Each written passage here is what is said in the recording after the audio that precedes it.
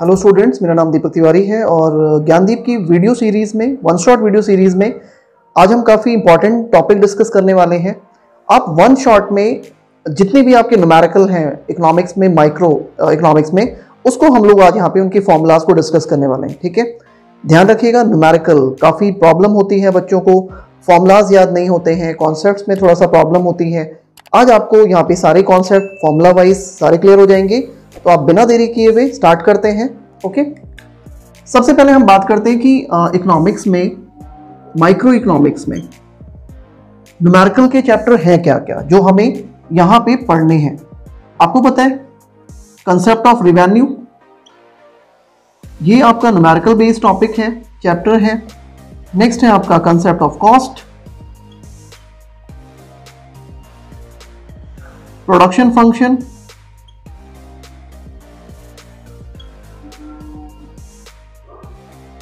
elasticity of demand?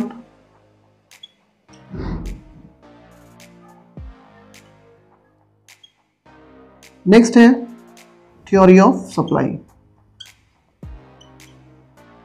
ये five chapters ऐसे हैं जिनमें न्यूमेरिकल आते हैं जो बच्चों को पता होना चाहिए। तो वन बाय वन हम इनको बिना देरी के भी स्टार्ट करते हैं। सबसे पहले हम डिस्कस करते हैं कंसेप्ट ऑफ़ रिवेन्यू के न्यूमेरिकल के फॉर्मूलाज के बारे में। कंसेप्ट ऑफ़ रिवेन्यू ठीक है? देखो, सबसे पहले सबसे पहले जो न्यूमेरिकल का टॉपिक डिस्कस करने वाले हैं, उसका नाम है कंसेप्ट ऑफ़ रिवेन्यू रिवेन्यू का मतलब आपको पता ही है सेलर जो भी गुड्स या कमोडिटी बेचता है, बदले में जो अर्न करता है रिसीव करता है दैट इज़ कॉल्ड रिवेन्यू इसमें कुछ टर्म्स हैं जो पता होनी चाहिए हमें न्यूमेरिकल को करने के लिए. जैसे टीआर टीआर को हम क्या बोलते हैं? टोटल रिवेन्यू क्यू का मतलब होता है क्वांटिटी नेक्स्ट आपका ए आर आर का मतलब होता है एवरेज रिवेन्यू नेक्स्ट अगर आपको ए आर निकालना है तो आप टी आर को क्यू से डिवाइड करोगे, यानी टी आर अपॉन क्यू और अगर आपको टी आर निकालना है तो आप ए आर में क्यू को मल्टीप्लाई करेंगे, ठीक है? एक बात और next M R M R को हम क्या बोलते हैं? मार्जिनल रिवेन्यू और इन केस अगर हमें एम आर कैलकुलेट करना है तो T R N minus T R N minus one और T R N plus one minus T R N इसका मतलब ये हुआ कि बाद वाली टर्म में से नीचे वाली ऊपर वाली टर्म आप टी आर की माइनस करते जाओगे तो आपका एम आर आता जाएगा, ठीक है? और हाँ अगर आप एम आर को प्लस करते हैं एम आर को ऐड करते हैं तो आपका टी आर आएगा। यानी एम आर को ऊपर से अगर आप प्लस प्लस प्लस करते जाते हैं तो आपका टोटल रिवेन्यू आता है। इसके साथ साथ टी आर निकालने का एक फॉर्मूला और भी है। उसे हम प्राइस इंटू डिमांड कहते हैं। और एक बात ध्यान रखिएगा, जो प्राइस है वो इक्वल टू ए आर होता है, लेकिन अगर फिर भी आपको ए आर कैलकुलेट करना है तो टी आर को आप डिमांड से डिवाइड करेंगे, ठीक है? तो ये हो गए आपके न्यूमेरिकल के फॉर्मूलाज जो रिवेन्यू के चैप्टर पे आपको आने चाहिए, ठीक है? अब हम लोग नेक्स्ट चैप्टर पे आते हैं। नेक्स्ट चैप्टर है हमारा प्रोडक्शन फ़ंक्शन इसके भी न्यूमेरिकल को करने के लिए कुछ टर्म्स हैं, जो आपको पता होनी चाहिए। जैसे टीपी टीपी को हम टोटल प्रोडक्ट कहते हैं या टोटल प्रोडक्शन कहते हैं।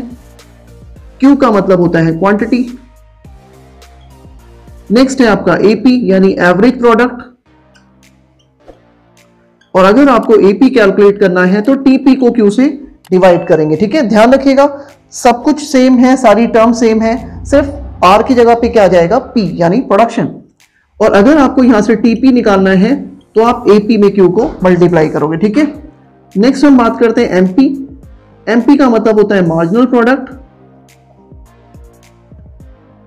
और एमपी को कैलकुलेट करने का तरीका same TPN minus TPN minus one okay इसका मतलब वो है कि टीपी के सेकंड टर्म में से फ़र्स्ट टर्म थर्ड टर्म में से सेकंड तो एमपी आप नीचे वाली टर्म में से ऊपर वाली टर्म को सेपरेट करते जाओगे तो आपका टीपी कैलकुलेट होगा, ठीक है? और हाँ अगर आप सिग्मा एमपी करते हैं देन आपका क्या आ जाएगा? टीपी यानी एमपी को प्लस करते जाओगे तो आप टीपी कैलकुलेट कर लोगे, ठीक है? तो यहाँ पे जाके आपका प्रोडक्शन फ़ंक्शन के भी न्यूमेरिकल के फॉर्मूलाज हो जाते हैं। नेक्स्ट हम बात करते हैं कंसेप्ट ऑफ़ कॉस्ट यहीं पे समझते हैं।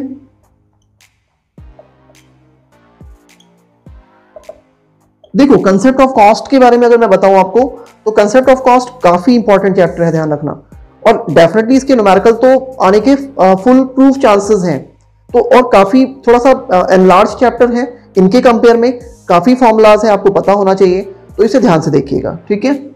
इसके भी आ, कुछ फॉर्मूलाज के कंसेप्ट हैं कुछ टर्म्स हैं जो आपको पता होनी चाहिए जैसे टीसी यानी इसको हम क्या बोलते हैं? टोटल कॉस्ट क्यू का मतलब है यहाँ पे क्वांटिटी नेक्स्ट है आपका ए सी यानी एवरेज कॉस्ट और अगर आपको ए सी कैलकुलेट करना है तो टी सी अपॉन क्यू और अगर आपको टी सी निकालना है तो A C into Q okay next हम बात करते हैं.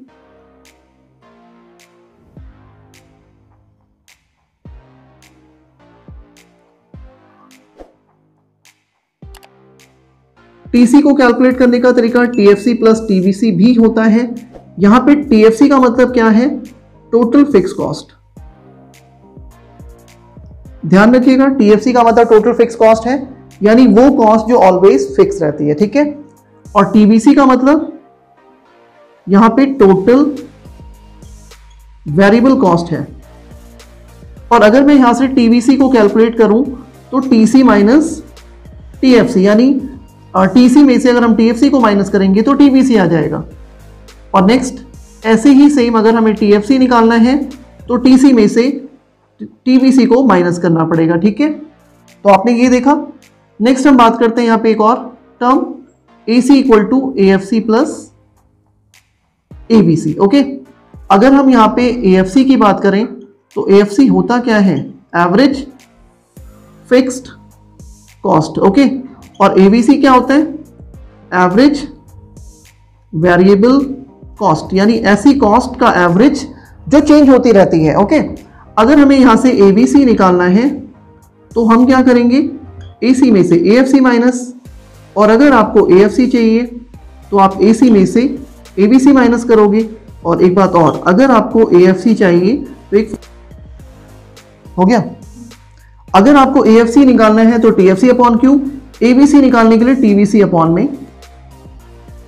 तो एएफसी निकालने के लिए टीएफसी अपॉन क्यू? जबकि एबीसी निकालने के लिए आपको टीवीसी अपॉन क्यू करना होगा? और टीएफसी निकालना है तो एक फॉर्मूला उसका ये भी बनता है। आप इसे क्रॉस मल्टीप्लाई करके निकाल सकते हैं, यानी TFC equal to AFC into Q और अगर आपको टीवीसी निकालना है तो आप एबीसी इंटू क्यू करेंगे, ठीक है? और हाँ एमसी एमसी का मतलब होता है मार्जिनल कॉस्ट जैसा कि आपने प्रीवियस चैप्टर में डिस्कस किया था अभी प्रीवियस टॉपिक्स में एम आर यानी मार्जिनल रिवेन्यू एम पी यानी कि marginal product same as M C का मतलब मार्जिनल कॉस्ट और अगर हमें एम सी निकालना है तो T C N minus T C N minus one और हाँ अगर हम सिग्मा एम सी करते हैं तो यहाँ पे टी पी या टी आर नहीं आता, बल्कि एम सी को आप ऐड करेंगे तो टी बी सी आएगा. ओके ध्यान रखिएगा, ये तीन अलग अलग डिफरेंट चैप्टर्स हैं जिनके आपने फॉर्मूलाज को समझा अब हम यहाँ पे नेक्स्ट चैप्टर के बारे में बात करते हैं। जो नेक्स्ट चैप्टर है जो आप ध्यान से देखिएगा elasticity of demand elasticity of demand elasticity of demand के आ, अगर हम फॉर्मूले की बात करें तो सबसे पहले एक मेथड है आपका प्रोपोर्शनेट मेथड अगर हमें प्रोपोर्शनेट मेथड से इलास्टिसिटी ऑफ़ डिमांड निकालना है तो उसका फॉर्मूला होता है ED equal to minus delta Q upon delta P into P by Q okay अब एक बात और, मैं आपको बता दूँ, यहाँ पे माइनस का साइन क्यों आया? ध्यान रखिएगा प्राइस और डिमांड में हमेशा इन्वर्स रिलेशन होता है, जिसकी वजह से यहाँ पे नेगेटिव साइन आता है। इसका मतलब ये हुआ कि प्राइस बढ़ती है तो डिमांड कम हो जाती है प्राइस घटने पे डिमांड बढ़ जाती है ओके दैट्स वाई हम यहाँ पे माइनस यूज़ करेंगे। और डेल्टा क्यू का मतलब है change in quantity demand okay और डेल्टा क्यू निकालने का तरीका? Q one minus Q Q one का मतलब है करंट डिमांड और क्यू का मतलब होता है प्रीवियस डिमांड करंट डिमांड का मतलब होता है प्रेजेंट डिमांड ओके नेक्स्ट हम बात करते हैं डेल्टा पी डेल्टा पी का मतलब है चेंज इन प्राइस यानी प्राइस में होने वाला परिवर्तन. और डेल्टा पी कैलकुलेट करना है तो P one minus P P1 का मतलब है करंट प्राइस जो अभी है, यानी प्रेजेंट प्राइस और P का मतलब होता है प्रीवियस प्राइस जो पहले से है ओके तो ये हो गया आपका प्रोपोर्शनेट मेथड नेक्स्ट है आपका नेक्स्ट आपका मेथड है परसेंटेज मेथड इसमें अगर आपको इलास्टिसिटी ऑफ़ डिमांड निकालना है तो minus percent change in demand upon में परसेंट चेंज इन प्राइस अगर आपको percent change in demand calculate करना है तो उसके लिए आप क्या करेंगे? उसके लिए फॉर्मूला होगा Q1 one minus Q upon में Q into hundred okay और अगर आपको परसेंट चेंज इन प्राइस चाहिए तो उसके लिए आप क्या करेंगे? P1 one minus P upon में P इंटू हंड्रेड ध्यान रखिएगा, इनसे दोनों परसेंटेज में आएँगे और फिर आप दोनों को रख के डिवाइड करेंगे और ये आपका यहाँ पे आंसर आ जाएगा ठीक है? तो यहाँ पे हमने इलास्टिसिटी ऑफ़ डिमांड तक आ, सारे फॉर्मूला डिस्कस कर लिए हैं। क्योंकि स्पेस का शॉर्टेज है इसमें तो अभी मैं आपको आगे आगे का इलास्टिसिटी ऑफ़ सप्लाई के टॉपिक के बारे में हम बताएँगे। तब तक आप इसे फटाफट नोट कर लीजिए और इसकी स्क्रीनशॉट ले लो। बाकी का मैं अभी आपको जस्ट आपको क्लियर करता हूँ ठीक है? स्टूडेंट्स हम लोग थ्योरी ऑफ़ सप्लाई चैप्टर में जो न्यूमेरिकल का टॉपिक है वो टॉपिक है इलास्टिसिटी ऑफ़ सप्लाई ध्यान रखिएगा, जिस तरह से आपने इलास्टिसिटी ऑफ़ डिमांड के फॉर्मूले को समझा सेम एज आप यहाँ पे इलास्टिसिटी ऑफ़ सप्लाई के बारे में जानेंगे। इसके भी दो मेथड हैं। प्रोपोर्शनेट मेथड इसके थ्रू अगर हमें ई एस निकालने हैं, यानी इलास्टिसिटी ऑफ़ सप्लाई तो फॉर्मूला है डेल्टा क्यू अपॉन, ध्यान रखिएगा, यहाँ पे नेगेटिव साइन नहीं आता है, क्योंकि प्राइस और सप्लाई में हमेशा पॉजिटिव रिलेशन होता है, ठीक है? वहाँ पे हम एज अ कंज्यूमर अपने आप को ट्रीट करते हैं, यहाँ पे हम as a producer as a seller और ध्यान रखिएगा प्राइस और सप्लाई में क्या होता है? पॉजिटिव रिलेशन होता है, इसलिए यहाँ पे प्लस का ही साइन माना जाता है नेगेटिव नहीं आता है। तो डेल्टा क्यू का मतलब होगा यहाँ पे चेंज इन क्वांटिटी सप्लाई और डेल्टा क्यू को कैलकुलेट करने का तरीका क्यू वन माइनस क्यू यहाँ पे क्यू वन का मतलब है करंट क्वांटिटी सप्लाई जबकि Q का मतलब यहाँ पे प्रीवियस क्वांटिटी सप्लाई है।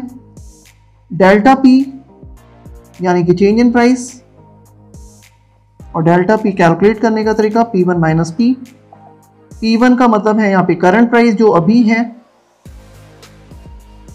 और P का मतलब है यहाँ पे प्रीवियस प्राइस, जो पहले से था ओके तो ये तो हो गया आपका proportionate method next percentage method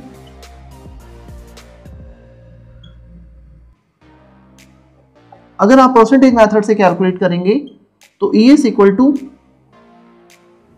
percent change in quantity supply then divide by percent change in price okay और इन केस अगर ये हमें नहीं दिए हुए हैं तो percent change in quantity supply को कैलकुलेट करने का तरीका Q1 one minus Q upon में Q इंटू और आपका आंसर इसमें परसेंट में आएगा। देन आपको परसेंट चेंज इन प्राइस निकालना है। तो उसके लिए तरीका P1 one minus P upon में P इंटू हंड्रेड और ये भी परसेंटेज में आएगा। और फिर आप इन दोनों परसेंटेज को डिवाइड करेंगे और आपका आंसर कैलकुलेट हो जाएगा, ठीक है?